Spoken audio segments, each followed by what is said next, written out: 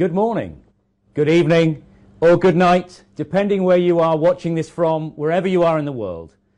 You're most welcome to the second in a series of Health Foundation webinars exploring improvement science, in which we'll be hearing from Dr. Kaveh Shojania. My name is Bill Lucas.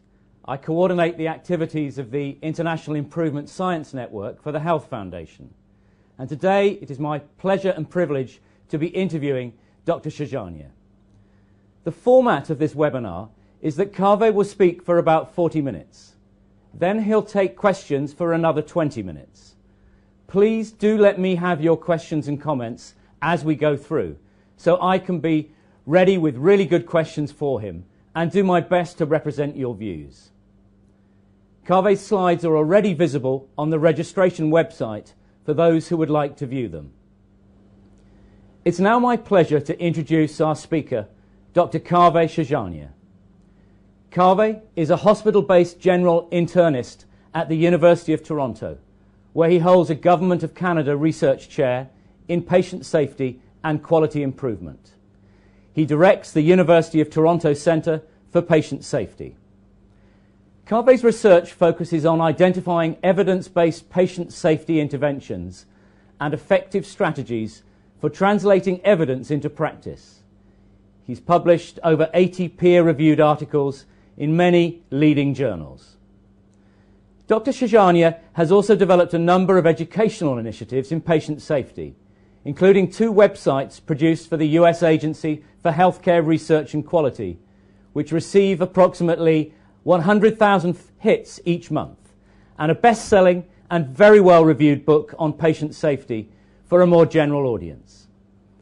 In January 2011, Kaveh became editor-in-chief of the BMJ Quality and Safety Journal.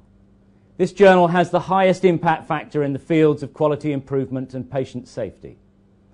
Ladies and gentlemen, please give a very warm virtual welcome to Kaveh Shojania. Thank you. Thank you very much, Bill. It's a pleasure to be here, even if it's only virtually. I haven't done a web lecture like this before, not being able to see the faces of the audience. I, I hope it goes well. Uh, I'm sure it will. And again, thank you for having me. Today I'm going to be speaking about how to achieve synergy between the design and evaluation of um, quality improvement projects, but also with their reporting.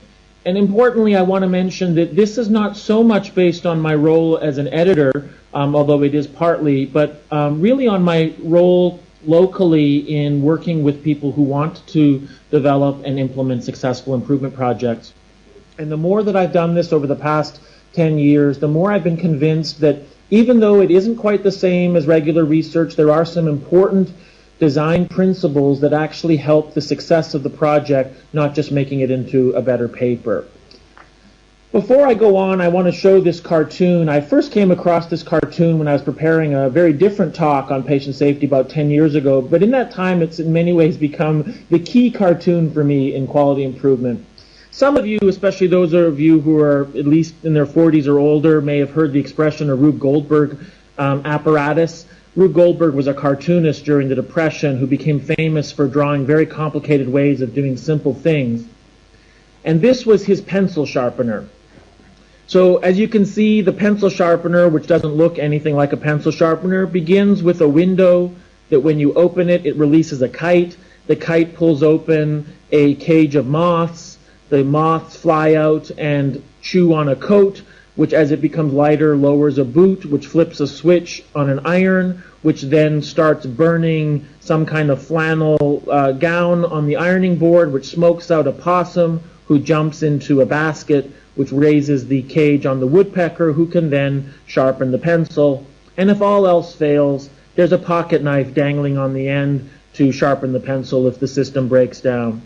Now, the reason I find this such an instructive cartoon is that in many ways this is the medication ordering and administration process in every hospital. It's numerous hospital processes which have so many steps in them um, starting in one part of the hospital and leading to the bowels of the pharmacy, and then pneumatic tubes and transport and porters and so on. And the reason it's such an important cartoon, I think, is that no matter how thoughtful a clinician or manager you are, you usually only know a part of the process in your hospital, a part of the relevant process. And so it may seem quite sensible to you to, for instance, just add another woodpecker or change the boot. And you don't realize necessarily that this could have downstream unintended consequences and it will only contribute to the process being even more of a Rube Goldberg apparatus and even more convoluted.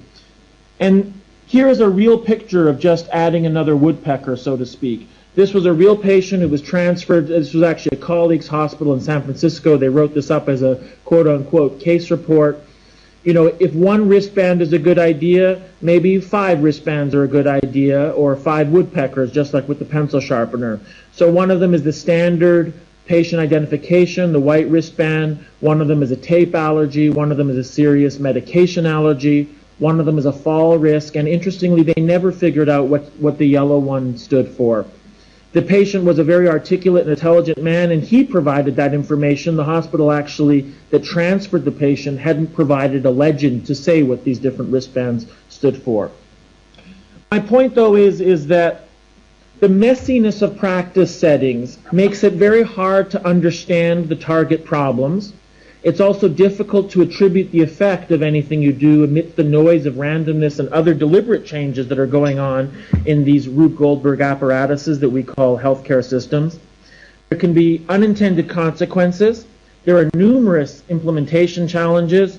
And making a theory or having a theory for why your intervention ought to work is very helpful as a guide when you're working in such a messy setting. Before I go on with that idea of a theory, I just want to give an example that is a little bit more from my being an editor. This is a typical improvement report as we receive them often. The introduction will say this is an intervention that has something to do with infection control, with hand washing hygiene. And the introduction will say basically that infections are very, very, very important. Um, you could almost just say blah, blah, blah, because it has nothing to do with the actual intervention. It's just the usual talk about why infections are a problem. Then they jump to saying that they had a multifaceted strategy, which is, of course, a, a, buzzword, and it is important to have a multifaceted strategy, but we don't really know what any of these ingredients really amount to. The methods briefly state the methods, and then the results are that it doesn't work, and the discussion is we can only guess why. Now, I'm not being entirely facetious. This is quite a typical or representative report. Because we have no idea why this intervention was supposed to work, nor are the details of its ingredients described, nor are any measures of whether the intervention was even implemented successfully, when we're confronted with the simple negative result, we really can't understand what's happened or learn anything for the future. Here's a slightly better report. So with the same topic, instead of saying blah, blah, blah, infections are important, they just jump to the crucial feature, which is that what are the commonly identified barriers to hand hygiene compliance? They include A, B, and C. And then our components of this intervention address specifically A, B, and C by doing X, Y, and Z. The methods provide some details as to what these ingredients really amount to. This time, the results may also say no improvement, but they also say that many patients felt uncomfortable questioning their doctors or nurses about whether they had washed their hands, which was part of the intervention. So in this case, the discussion can say this intervention did not succeed, but we have an idea why, so we can actually learn from this. I want to emphasize that even if they had succeeded in the previous report where they provided none of these details, the success is often implausible. It's an implausibly large effect size and we don't really know because there are so few details, nor is there any explanation as to why the intervention even ought to have worked, that from a Bayesian perspective, one might say it's, it's just more likely that the study was flawed than that they really had a large impact. So that second report is an improvement. But ideally, and I, am speaking here not as an editor, but as someone who wants to improve things, Ideally, we would have recognized through doing more background work or pilot testing that the intervention had problems, that the theory of the intervention was wrong or incomplete, that the implementation required attention to additional issues, such as, in the example I gave, whether patients might feel uncomfortable speaking up when providers walked into the room and may or may not have washed their hands. So what I would like to talk about uh, is a view that there has to be a better way to plan interventions and their evaluation so that we increase the chance of success. We don't want to simply produce well-described reports of failure, but we also don't want to produce poor reports of success or failure because we can't learn in either case. Now, the most important concept I want to leave you with is this idea that a good evaluation plan increases the chance of success for the intervention. And that one of the, perhaps the single most important ingredient for that good evaluation plan is having an explicit theory of why the intervention will work. A theory that also includes specifying the active ingredients of the intervention. I mean, we would all agree that it would be absurd to write a clinical research report that says patients with diabetes should receive red pills. That would be ludicrous.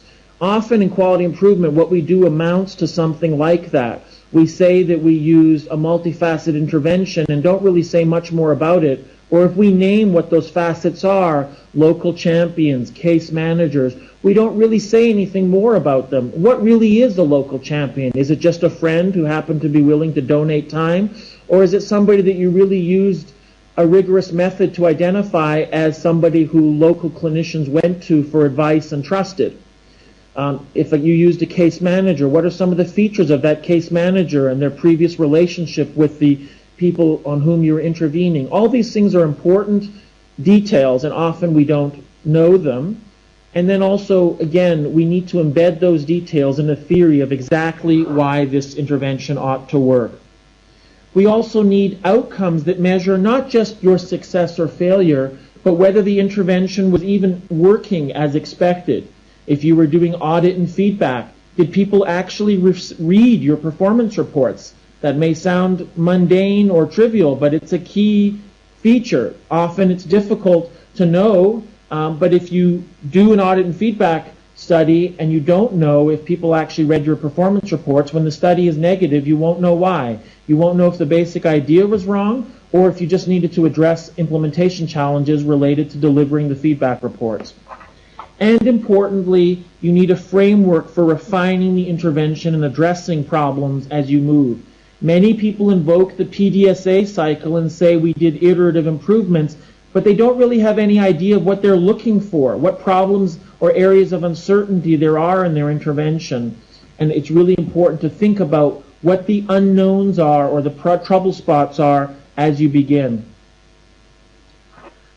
So returning to this idea of the importance of a theory, the, the single biggest problem I see, not just as an editor, but as somebody who works with many hospitals in Canada and the United States with people trying to achieve local improvements, is that people often start an improvement without matching the solution to the problem. We'll have a lecture series on the subject. Or let's develop a clinical practice guideline. Let's do audits and send performance reports. Let's create a new order form or a clinical pathway. The issue is that each of these interventions, some of them may be quite reasonable in certain situations, but the important point is that each of these solutions implies or presupposes a certain type of problem. Obviously, education implies a knowledge problem. Performance reports imply that the problem is largely under the control of the recipients of the reports. Reminders or order sets imply that the problem is maybe memory and that reminding people at the point of care will solve the problem. But often this is not the dominant problem, or even if it is, there are other ancillary or collateral problems that you need to address as well. And so it's fundamental to characterize the underlying factors that contribute to your target quality problem and make sure that you've designed or chosen an intervention that truly matches that problem. This is a framework that I, no one I don't think has ever written it up. It's, I've used it for some years. It's loosely modeled after the framework that many people will be familiar with from root cause analyses. Excuse me. The idea is that when you're confronted with any quality problem, there could be contributing factors in each of these categories. Organizational factors such as staffing or culture or aspects of infrastructure. There could be equipment or human factors issues, various professional issues, and patient issues. And I want to illustrate with an example how using this framework can be helpful. So overuse of antibiotics for upper respiratory tract infections has been a familiar quality improvement and public health problem for probably 20 years now. Just to be clear, especially for any non-clinicians, we're talking about the idea that people often receive antibiotics for what amounts to a cold and that this is pub, from a public health perspective harmful because it leads to overuse of antibiotics and probably contributes to the emergence of resistant organisms. It obviously has economic implications and it also has um, implications for individual patients because they have no chance of deriving benefit from the antibiotics, but they do have a chance of deriving harm. So if we think about what are the potential contributing problems, and we could think about this conceptually and supplement this with knowledge from the literature. So in this case, it's probably not organizational issues. So for many chronic illnesses, there are organizational issues. You know, the doctor feels that he or she is too busy to take the time in between visits to educate the patient about their medications or fill out all the consults required and whatnot. But in this case, the patient is there with a single problem saying they have a cold and they want you to do something about it. Um, and it really was, is within the power of the doctor to do that without extra staffing. It's probably not memory factors. Again, many chronic illnesses, that is an issue. If a patient comes in with low back pain and you spend the whole visit talking about their low back pain, you could easily forget to ask them about their diabetes and whether or not they've been to the eye doctor in the last year or had their blood pressure checked. But this patient is here basically because they have a cold and they want you to do something about it. Um, attitudes and peer opinion are important contributing factors in many problems. It's, it may be a factor here. It's probably not the dominant one and knowledge and skills, it does turn out that some doctors think they have some magical clinical acumen that they can identify patients who need antibiotics, but it's probably not the dominant problem. Patient factors, though, in this particular case are probably a dominant problem. The patients expect or want antibiotics, and in fact, this has been very well studied. People have done studies where they wait in the waiting room with patients and ask them why they are there to, for the visit that day, and the patients often say that I think I need antibiotics. That's a very important reason for my visit. And follow-up questions are, how much do you want antibiotics today? And many patients answer, very much. So interestingly, as an example of matching the solution to the problem, one group of investigators, instead of doing wasted educational efforts directed at the doctors, they directed an intervention at the patients, and they simply randomized the patients to be told different things as to their diagnosis. One group was told they had bronchitis, one group was told they had a viral illness, and one group was told they had a cold. Then they were not given antibiotics and they measured their dissatisfaction. And interestingly, the people who told they had a chest cold were not that dissatisfied when they weren't given antibiotics. The linguistic cue of relating their problem to a cold minimized their dissatisfaction because they know you don't need an antibiotics for a cold. So if they have a chest cold, well, that sounds okay to them. If they're told they have bronchitis, though, well, that sounds a little bit more like it needs antibiotics. Interestingly, a viral illness was in between. I, I personally find that amusing because so often physicians do tell patients in an effort to reassure them that they just have a viral illness, don't worry about it. But patients have really only ever heard of HIV, Ebola virus, and other quite nasty viral illnesses, so it's not clear why they should actually be reassured by that. So maybe that's why it had the intermediate result of being somewhat dissatisfied. But the point is that in this case, the investigators were matching their solution to the underlying problem that patients expect to receive antibiotics and your intervention needs to address that issue of patient expectations.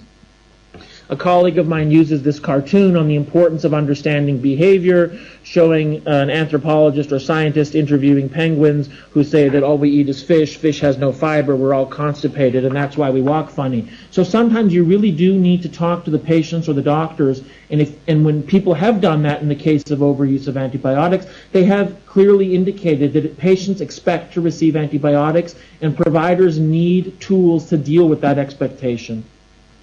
So I want to give an example of more of successfully matching the solution to the problem, reduction of nosocomial urinary tract uh, infections. So for any of you who work in a hospital setting know that um, overuse of, in North America, they're called Foley catheters. I suppose the more general term is indwelling bladder catheters.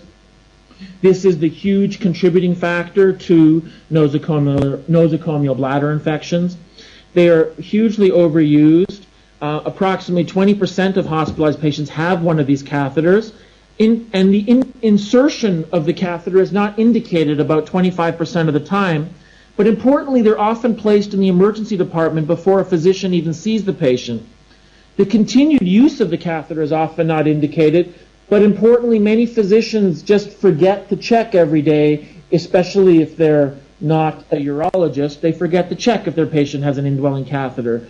The important point here is that education directed at physicians, reminding them of the importance of checking their patients for catheters and the indications for catheters and so on, are likely to be ineffective. So one group of investigators tried this intervention of automatic stop orders for urinary catheters. The idea is that if so many doctors are not even aware of their patients having catheters, well, why not just remove them? And so what they did is that when patients arrived on the floor, they, if they had a catheter, the nurse put an automatic order in the chart or in the computer system. It's been done in both types of settings. That said that the catheter should re- be removed in 72 hours unless the doctor overrides the order. And they were able to show that they reduced catheter duration by three days, which, in addition to any infectious implications, also makes patients happier and contributes to their mobility because many elderly patients find it difficult to mobilize while they have an indwelling catheter. I'm not going to go over the 10 specific steps that I often lecture on in, in this setting, and actually we will be having a paper on this in our journal outlining 10 specific steps to consider that achieve synergy between the design of your intervention and its reporting. But I will highlight a few of them and the first two are related to just what I've been talking about in these last few slides, which is having an explicit theory for why your intervention should work, and also specifying the active ingredients of your intervention. And think about it analogous to any clinical intervention. What are the dose and intensity of your ingredients? How frequently should performance feedback occur? And in what format? Should it be in person? Should it be via letter?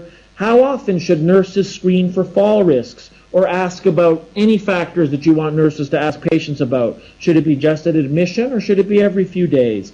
And as I said, match these ingredients to the specific causes of your target problem. I want to emphasize, just before I finish on this subject of theory, that theory aids not just in the design of your intervention, not, not just in the eventual report, but in the design of your intervention. Sometimes you may realize that you shouldn't even pursue this intervention. So, for instance, if you ask, as many people submit um, or in, uh, undertake uh, fall reduction intervention, and screening for fall risk is a common approach. So, if you ask, well, why will screening for fall risk work? Well, someone might say, because if we identify the subset of high risk patients, then we can focus on them. That seems sensible. But then the next question is, can you identify a subset of high risk patients? And in most, in many settings, people will say actually most patients end up being high risk. So obviously that's not particularly promising, and you would really want to refine your intervention before you even got going. Bed alarms are another um, commonly talked about intervention, the idea that there would be an alarm that goes off when the patient gets out of bed. If you ask the question, how will bed alarms reduce falls? Well, you might facetiously answer because nurses love nothing better than more alarms going off. And if hospitals outside of North America or anyone, anything like the ones I've worked at in North America, I'm obviously joking here because we already have so many alarms going off and a real problem with nurses having alarm fatigue. So this, this facetious answer really underscores that this isn't necessarily a promising intervention It's supposed to work by having another alarm going off for nurses to feel frustrated about. In addition to having one theory, just like in any good science, having an alternate theory can be even better. I'll use the example of medical emergency teams. Now, medical emergency teams have been sort of flogged in the debates about quality improvement because of the conflicting evidence and conflicting enthusiasm that some people have about this. I want to emphasize I'm not contributing to that debate here. I've worked in some hospitals where, me- where medical emergency teams seem to be wonderful. I've worked in others where they seem like they may not really be achieving a desired impact, and certainly the literature gives examples of both. And it may be that, in fact, it works well in some places and not in others. But for now, I just want to emphasize that when you're undertaking one locally or when you're thinking about one that's being reported in a, in a journal article, it's important to realize that there are different reasons that this, this intervention might work. The main theory has been traditionally that deteriorating ward patients are often not recognized early enough, and ward physicians are often difficult to reach, and even when they are reached, they don't escalate care in a timely enough fashion. But there are other contributing factors or theories that I've seen in action anecdotally and people have talked about in the literature. One is that the transfers to intensive care units are often delayed when ward staff have to fight with overworked critical care staff. But when the rapid response team or medical emergency team is in fact consisted of people from the intensive care unit, it may facilitate the transfers. And another issue is that the medical emergency teams may make more patients do not resuscitate, which leads to fewer unexpected deaths, and it may improve the quality of end of life care, but it's obviously a very different thing than saving critically ill patients. And the important issue is that the specification of these different theories directly suggests different outcomes worth measuring, and it also suggests that as you're refining your implementation, you may see that each of these theories has an element of truth, and you may need different ingredients for your intervention, for your medical emergency team, to optimize its impact. And the last example I'll give is a local example I'm dealing with right now, but some of you may be familiar with this sort of intervention already, depending on where you practice. and that is an, uh, the idea of a renewed interest in house calls, especially for frail, homebound elderly patients who find it difficult to make it to their appointments or their families find difficult to get them there. This is certainly an intuitively sensible intervention, but consider two types of patients. One is a homebound patient with multiple chronic problems who's quite frail and frequently has acute problems such as a urinary tract intervention or delirium from a new medication. That patient would probably benefit from rapid access to care via a house calls program. But there are other patients who are homebound with multiple chronic problems but are relatively stable. There may be gradually deteriorating, possibly from Alzheimer's, possibly from arthritis, or some underlying condition, but they don't really have frequent acute problems. What they really need is to be seen on a regular basis every couple of months and have a mechanism for transporting them comfortably and reliably to their appointments. In that case, regular visits with some sort of transportation support is probably sufficient and more cost effective than house calls. So the important point here is that as one thinks through the theory of why house calls for homebound elderlies work, one realizes that to achieve maximal impact in a cost-effective manner, one really needs to know if one can distinguish these different types of patients because targeting them may be crucial for developing this intervention and showing it to be cost effective. So in summary, thinking through the theory of an intervention enhances patient selection. It sharpens your thinking about what types of patients will most benefit from the intervention. It allows you to think about whether you have the key ingredients. You may realize that you're missing some. So, for instance, for house calls, it may be that for many patients or their family members, having someone available by telephone relatively instantly to reassure the patient or their family may be all that's needed, and that allowing for that possibility may be more important than attempting to deliver urgent home calls for everybody. The theory will also sharpen your evaluation articulating the mechanism for the intervention will facilitate your choice of outcomes, and it'll also allow you to recognize key contextual factors. And you know what? I'm actually going to skip through this slide in the interest of time, but basically, as many people have heard, context is becoming an increasingly um, discussed topic in quality improvement. And the idea is that we now have a long list of potential contextual factors that might affect any given intervention. And there's no real way of selecting from those contextual factors in terms of what's most relevant to your intervention unless you have some theory for how the intervention is working. So just like in regular clinical research, where we select which factors are worth reporting, for instance, the gender or the age, we might always report, but whether the patient smokes or when their last heart attack is or what their socioeconomic status is. We don't always report all of those things. We base them on what the study is about. And in the same way in quality improvement, we can't report every single theoretically possible contextual factor. We have to think about the theoretically possible ones with this particular intervention based on why it's supposed to work. I want to briefly speak about the idea of evidence, and I don't mean the evidence for the effectiveness of your intervention necessarily, but an often overlooked issue, which is evidence that relates to some of the aspects of your intervention. So, to give an example, um, chronic congestive heart failure disease management programs um, are very popular, just as diabetes disease management programs are kidney failure disease management programs, and so on. So imagine a fairly generic uh, heart failure disease management program that involved implementation of some kind of evidence-based protocols for choosing medications and so on, a protocols for adjusting medications based on patients' reported symptoms, and the mechanism for adjusting those medications is delivered through frequent telephone calls using an automated response system, which is becoming increasingly popular, at least in North America, where patients get an automated telephone call and there's an option, a very simple option, for them to say that they have any symptom of, of interest, and then somebody phones them back, usually within 12 to 24 hours. So in this case, the ingredients are fairly clear. The theory is not hard to guess from the description, and there's such a huge literature on disease management programs. But in terms of evidence, well, there was a large trial in the New England Journal last year, a large, well-designed randomized trial evaluating a disease management program for heart failure with daily telephone contact with patients. And importantly, the results showed that there was no difference in either the primary or secondary endpoints, and the, the primary endpoint was readmission to the hospital or death from any cause within six months, which is a standard endpoint for heart failure studies. And there were a number of secondary endpoints that were all quite reasonable. Well, Importantly, the results showed that patients used the telephone system as the investigators intended, so it wasn't a failed implementation. They also showed no subgroups that had any important effect either.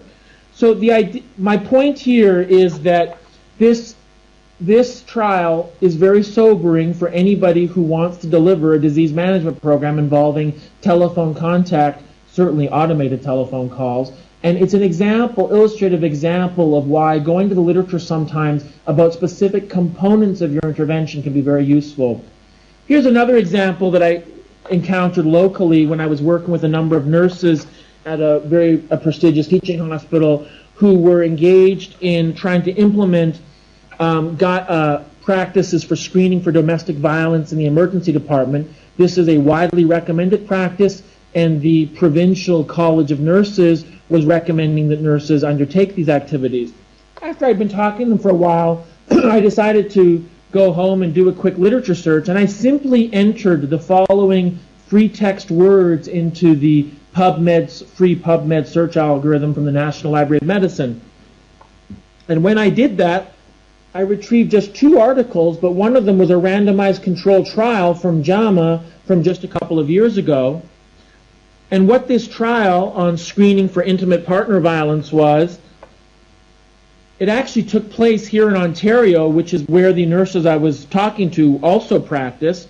It was a very well designed randomized controlled trial in a number of settings. And the bottom line was that it didn't work. Now, this is very sobering, and it obviously should make anyone think twice about undertaking this if they don't have a lot of resources. And importantly, when I clicked the related articles, I found another study that showed that women preferred certain approaches to screening for domestic violence over other approaches. They preferred completing on their own some questionnaires versus face-to-face questioning, and I've worked in many emergency departments that do the face-to-face approach. My simple point here is that most interventions have been tried before. You may find important information on the likely effectiveness or lack of effectiveness of what you're undertaking, or previous work may suggest specific refinements to your intervention.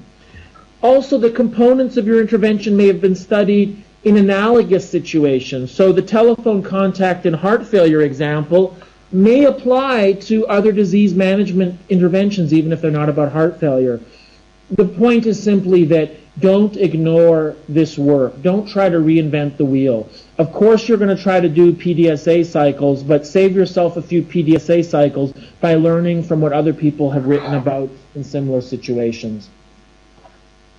Another practical point that comes up but is often ignored, it may seem like a very research oriented point, but it's hugely practical, is that many people think that their outcomes will improve in a timeline that's convenient to them but actually is not driven by the underlying situation.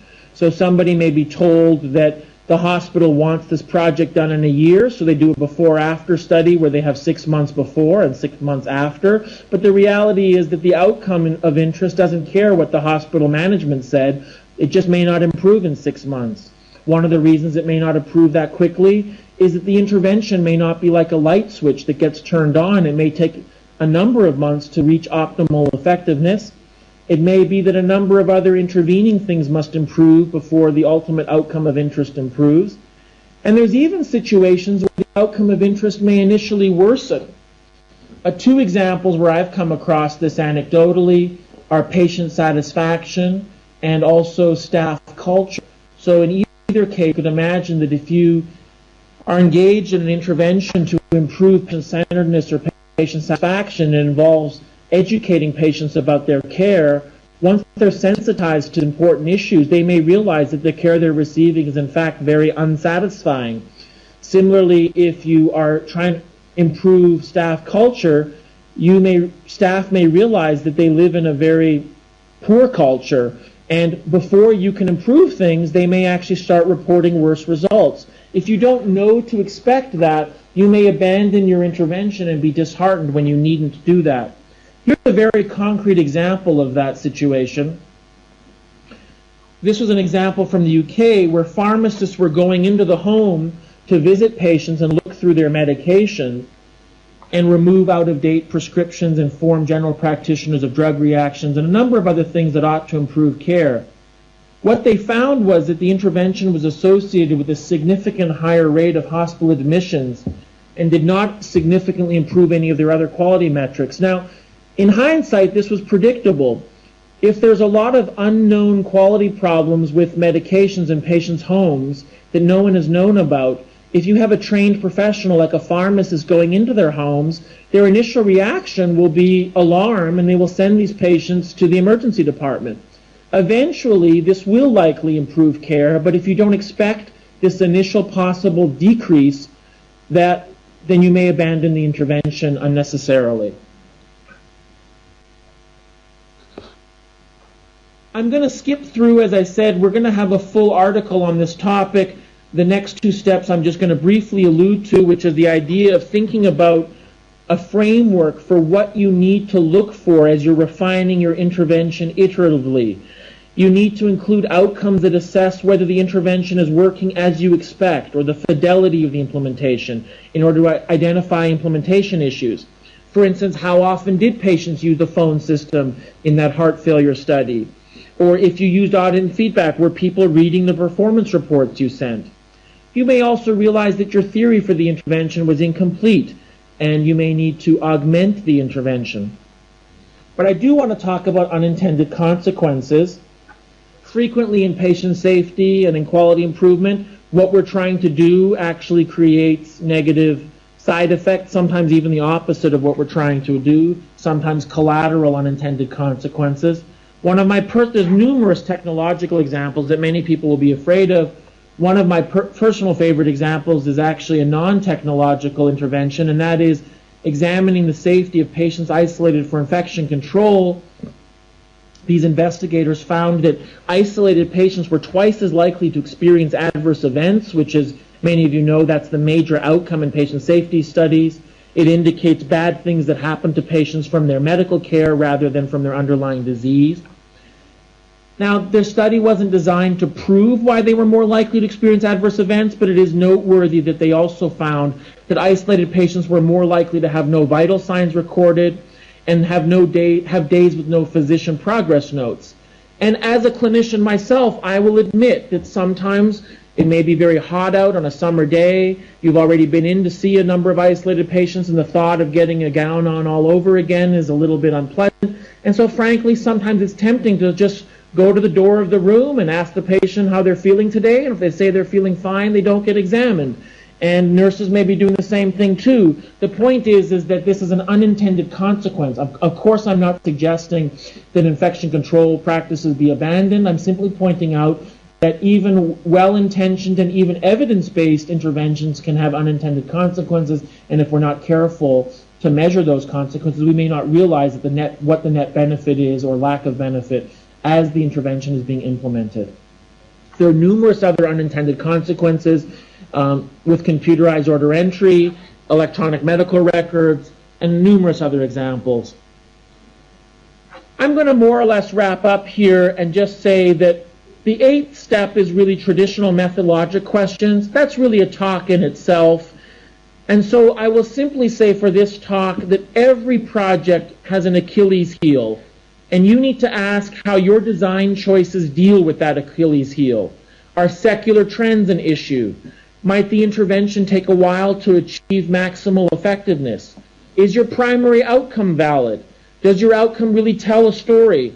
And will you be able to say anything useful if the intervention doesn't work? I have a slide here with common problems for outcomes, but I'm going to skip through that because I really want to wrap things up and leave time for questions. The last two steps I have here have to do with spreading the intervention, but I know most of you will really be care care about at the initial step of just getting the intervention to work in your own hospital. And so with that, I will say um, thank you very much for your attention. That in summary, I've, I've talked about considering steps that will increase the chance of success for quality improvement projects and that attention to these elements will substantially enhance your writing and success in publication. And with that, I'll turn things over to Bill and in case he has any questions from the audience. Thank you very much for your attention. Kaveh, thank you very much indeed. Uh, I do have some questions for you. Uh, let me start with the first one. Um, and it's this uh, What tools and approaches are recommended for understanding the root cause of a problem and who to involve within this scoping work? Uh, that's a great question. Um, the framework that I outlined in this talk is useful, but it is fairly superficial. Uh, but it, you know, it really takes the a human factors approach to understanding quality problems, recognizing that there are categories of organizational problems, individual problems, equipment problems, and so on.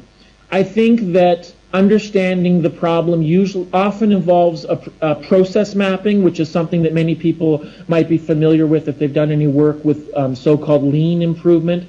Um, as I uh, outlined with that Rube Goldberg apparatus at the beginning, the problem is is that even the most thoughtful and experienced clinician, and even clinicians who also have knowledge of quality improvement, won't understand truly the overall process that they're trying to intervene on. And so usually you will need a multidisciplinary team, often including someone with experience in process mapping and human factors work to help characterize the underlying problem. Although I will say that often most quality problems have been studied to some extent and that should be supplemented with some literature searching as well. Thank you, Kaveh. And this is really a, a, comment for all our, our watchers and listeners. If there's anything you'd like to ask uh, Kaveh, now's your, now's your chance to ask him. Um, and I have another question here, which is, uh, Kaveh, what is your opinion of the Squire guidelines? Uh, I'm a huge supporter of the Squire guidelines. Um, and I was consulted by a number of the people who, who wrote those guidelines. But the Squire people themselves recognize that they need a new version of the Squire. I think what Squire did that was hugely important was create general recognition even outside the quality improvement world, for instance, in major general medical journals and so on, that improvement reports aren't the same as clinical research, that they have unique elements. Although realistically, the Squire guidelines, they really just touch the surface, and I think the people who um, designed them would recognize that you know you can't make it perfect. Um, you can't overwhelm people too with too much new information the first time out of the blocks. So I think some of the important elements the Squire guidelines did include were attention to the contextual factors, attention to the motivation for the intervention, um, and so on. But I think that the next version, which is being worked on, I think as we speak, and I know many of the people involved, will have more attention to the theory for the intervention, which is one of the things that I've been highlighting, and a number of the other factors that I'm talking about. I want to emphasize that I don't think anything I'm saying contradicts the Squire guidelines. I think the Squire guidelines are just ready for the next version, and probably a number of the elements that I've been talking about will find their way or be complementary to the Squire guidelines next version. Thank you. Um, listening to you, um, I'm just wondering where what you've been saying fits into this uh, debate that's, uh, that's uh, of interest to uh, improvement science scholars and practitioners about uh, the difference between a rigorous randomized trial and the necessary more expeditious designs that you might adopt to, uh, to make improvement happen quickly. Could you say a little bit about that? Sure. Uh, I want to emphasize, so I was one of the people involved in those debates and often sort of was vigorously or passionately debating with the other people, and I was seen as the one who was sort of more for rigor. It, my thinking has sort of changed, but then I think so have the other people's thinking changed too. I think that there was necessarily a passionate debate uh, between people who wanted to move forward and improve things and other people who wanted to say, look, quality improvement isn't different than anything else that has a pressing public health or clinical need. We don't rush into cancer drugs or HIV drugs because we sometimes get it wrong. So why should we do the same thing with quality improvement? I want to emphasize that I think both sides realize that there's a middle ground now, and that's why I really steered away in this talk from talking about randomized trials or non-randomized trials. The issue is really about coming up with an evaluation plan that actually addresses the unique issues of your project and that's why I've also emphasized that it really will improve the success of your project, not just the rigorous evaluation. So that I think the key thing that I now acknowledge that I may have been wrong about before is that in traditional clinical research, the people doing the evaluation have no vested interest in whether the intervention works. It's just as it's fine with them if they do a rigorous evaluation and shows that some pill of interest and widespread use turns out not to work. But in quality improvement, because of the scarce resources for this, we really want these things to work. So we don't want to bias our evaluations, but we do want the people doing the evaluating to have more of a collaborative role with the people doing the implementation. And so that's why I really think it's crucial to achieve a kind of a balance between thinking about your th- your intervention as something that needs an evaluation, because of course you won't know if you succeeded, but thinking about that up front, using some of these research-oriented principles, I really do think they will help not just achieve the eventual paper or report that might come out, but will actually improve the, the likelihood of your succeeding. And we really are seeing this time and time again that even the people with whom I formally debated about the subject, I think would acknowledge that too often we see reports where you really can't learn anything from them and they're just failed efforts. And that's what, what I've been talking about seeks to address. It seeks to address the problem of failed efforts and so that they'll be less likely to fail, but also that we can learn from something when they fail, because that's the other problem that comes up too. Thank you. Uh, a different tack now, Kaveh. Uh, this is a question about uh, training and uh, training uh, and teaching future clinicians. And it's a question that says, uh, given the importance of this, uh, what do you know about uh, most effective techniques for teaching clinicians and uh, what are the most successful programs you have seen that might be of interest to others? Uh, that's a topic that's of interest to a lot of people right now because I think uh, it's a compl- okay, it's a complicated topic. I guess I want to first point out that I think there's two important categories of people who are contributing to improvement work. And um, uh, actually, a colleague and I wrote a little bit about this in a JAMA commentary a couple years ago on this as a new career pathway in academic medicine. The first group is the traditional researcher who happens to study quality improvement. These people typically have had advanced training, master's or PhD level, in the methods of clinical research or health services research. They're skilled statisticians or trialists or what have you and they simply have been bitten by the quality bug from early on, and that's been their research topic. And as they've become successful, they may have collaborated more with other researchers from the social sciences and so on, but they're really traditional researchers.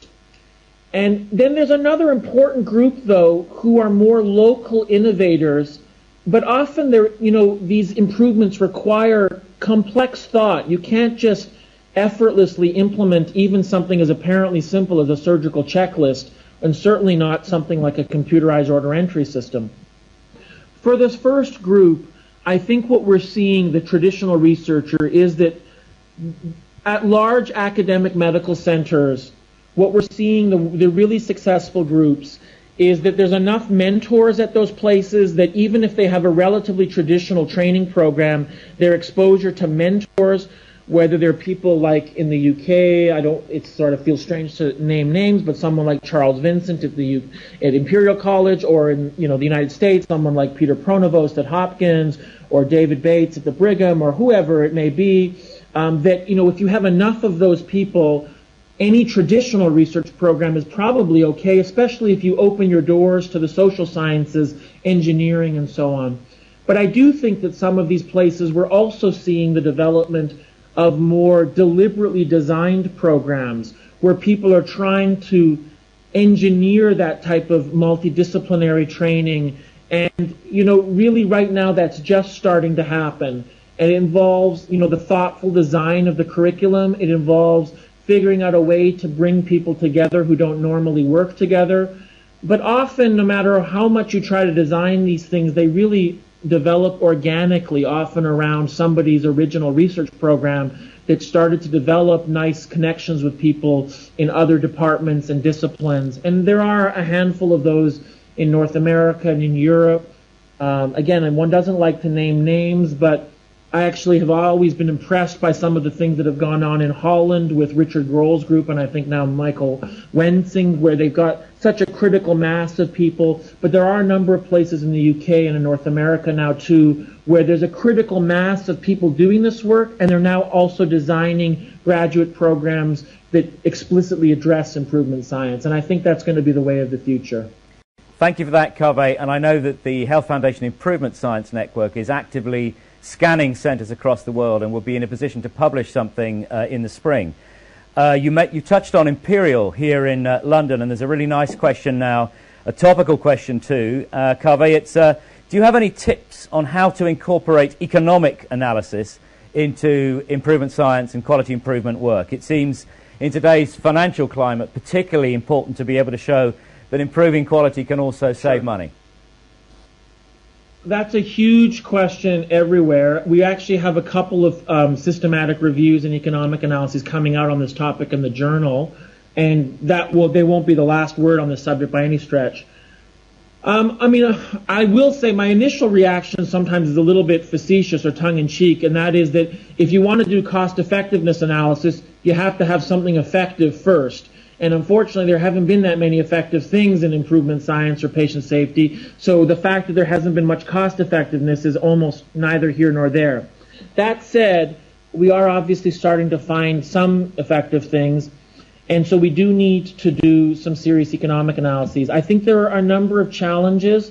There are some things that are unique about. So, for the first challenge is that many of the people working in this area don't collaborate with people with any sophisticated economic background. So often people will do a very superficial or unsophisticated cost counting where they simply just basically do a, almost like a budget report. Um, and that's not adequate for a number of reasons. It doesn't usually take into all, a lot of subtle costs, nor subtle benefits either. There are also complicated issues about, you know, just to take one example, you know, somebody having their leg amputated from their diabetes is not the same as somebody having their leg amputated because the wrong leg was cut off. So there are also complicated issues about how we value things too when error is involved. But to make a long story short, I think that's going to be the next important frontier in quality improvement is adding sophisticated cost effectiveness. And one of the basic problems that will also come up though is which perspective to take. And the perspective to take isn't always obvious you know, the standard perspective in cost in economic analysis is a societal perspective. In the UK and even in Canada, to some extent, that may be reasonable, but in the United States, for instance, often it's going to be the single hospital's perspective. Are they going to save money by preventing adverse events? That's a very different question than whether society will be better off. And so I think, again, cost effectiveness analyses have to happen. I think that we often don't capture the costs adequately, nor do we do the analyses adequately, and we don't even think adequately about the perspective. But on the other hand, as I said, it probably hasn't mattered so far because we haven't had that many effective things to even do economic analyses for. Thanks. That's a lovely distinction, that. Uh, now we now uh, jump to the other side of the Atlantic, and we're in Boston at the uh, Institute of Healthcare Improvement. And a nice question here, just uh, uh, inviting you to say a little bit about the process by which you uh, and your collaborators arrived at the 10 steps for achieving synergy you, you uh, for obvious reasons, you, you went through them in, in, in, at some speed, but we'd love just to see inside your mind there about how you got there. Oh, I will have to freely acknowledge that this was um, informal in the sense that so real. I mean, that's why I'm not claiming this is going to be the next Squire guidelines. Um, and the paper I was alluding to is really more of a you know a review article. But I want to emphasize that this is um, based on the colleagues. I'm writing this with our experts on program evaluation, which I know is something that many people in quality improvement have become interested in, the so-called realist evaluation and so on. The program evaluation, I do think, provides a useful model.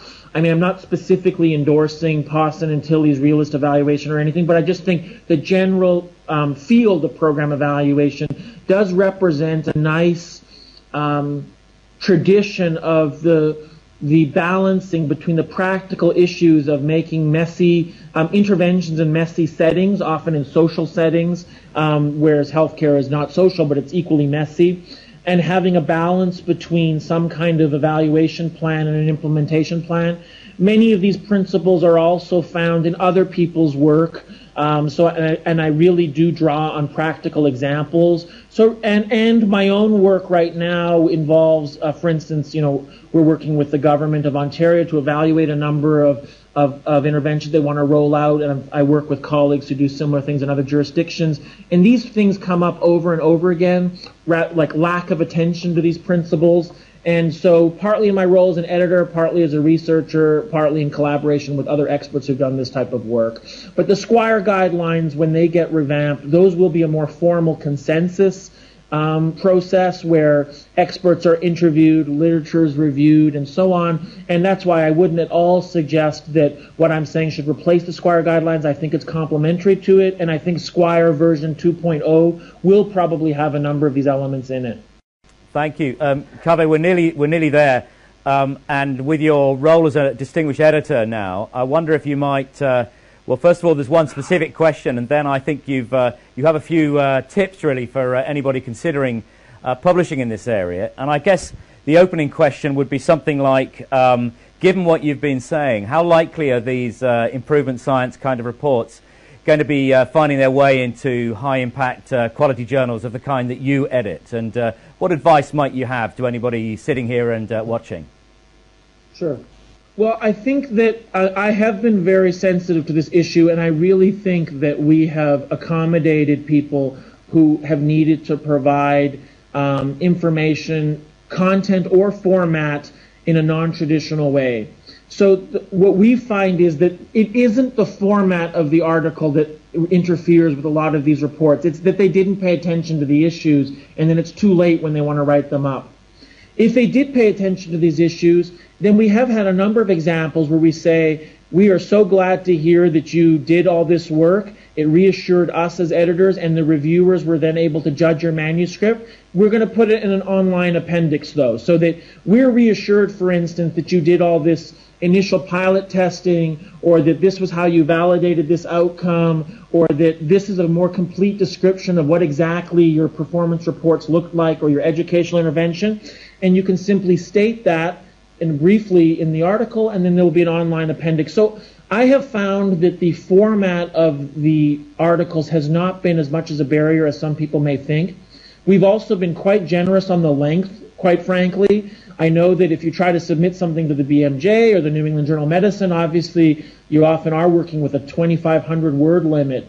We often have articles now that are three to 4,000 words, and we are more generous, though please do not start sending me long articles, everybody. uh, but especially for, quali- especially for qualitative research and other more complex designs, we have been much more generous with space, with the use of online appendices, and then frankly, um, and this gets into the writing tips, a lot of times your initial goal is just to convince the reviewers and the editors, and then we can obviously shorten the format and so on.